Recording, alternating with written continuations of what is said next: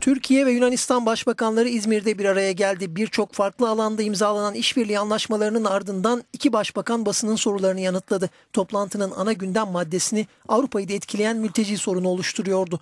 Sınır konulmasında işbirliği arttırılacak ve göçmenler kaçak yöntemlerle gitmeye değil, legal yollardan göç başvurusu yolunu izlemeye yönlendirilecek.